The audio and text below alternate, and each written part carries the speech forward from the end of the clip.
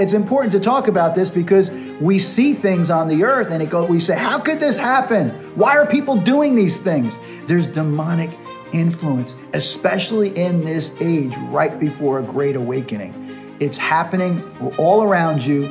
Don't be surprised. But he says clearly, Paul said, don't try to fight this in flesh and blood because you're not fighting flesh and blood. Fight the power behind the influence on the flesh and blood. Fight the puppet masters that are controlling people's lives because most people don't even know they're being controlled.